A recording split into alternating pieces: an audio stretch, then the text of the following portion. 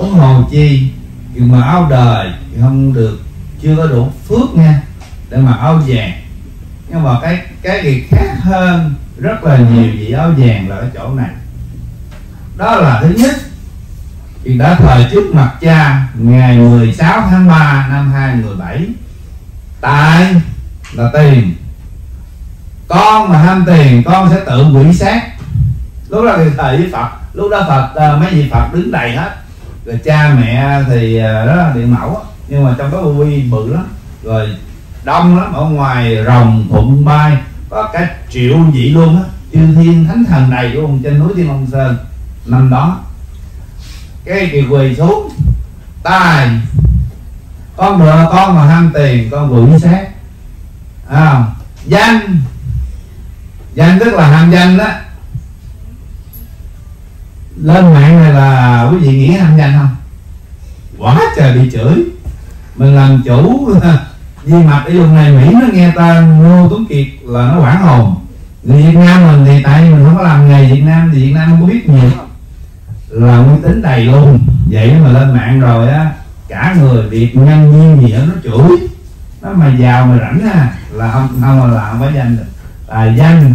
Sắc sắc là đâu có ghệ gì đâu đâu có đâu có đụng tới sắc mà cũng không có đụng tới cái gì gọi là sang lắm là đẹp lắm nữa. Thường thường đó chứ ca lắc đó là 4 năm, hãng nó mua. Cho thằng chủ trả thuế. Rồi 4 năm nó đổi lại nghĩa là lease mướn mướn 4 năm đổi 4 năm đổi. Cũng phải là của kiện nữa. Chiếc xe mình đang chạy nè. Đúng không? Tài danh sắc thật.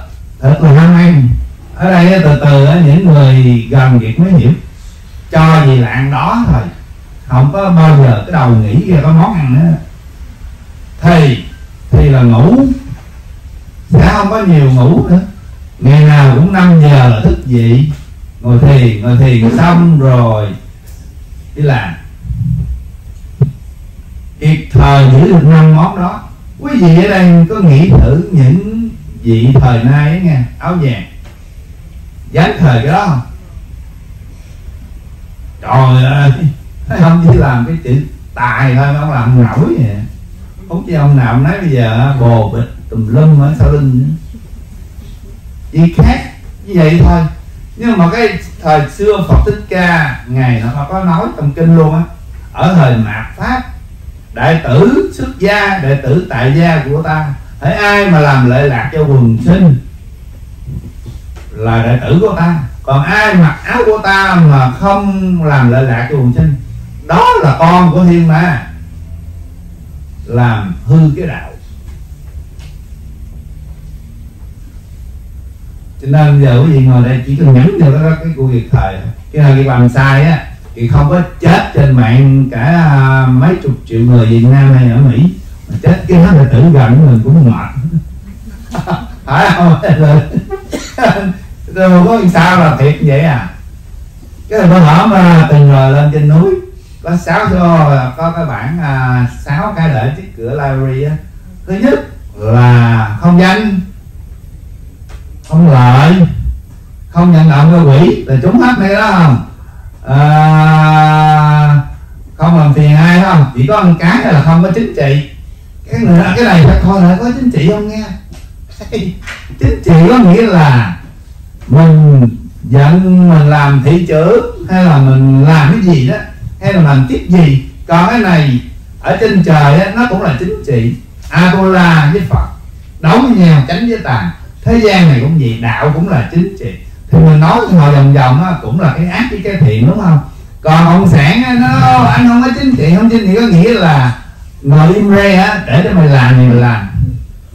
Ngày xưa đức phật đi qua thiền có hàng ăn cướp phật thích ca mình á rồi nó xa nó sắp sửa giết hết cả thì ngài cũng phải rút kiếm ra để nó một mũi ẹt. Chứ không phải đi giết cả tiền sao? Mấy ông nghĩ cái đó là chính trị không?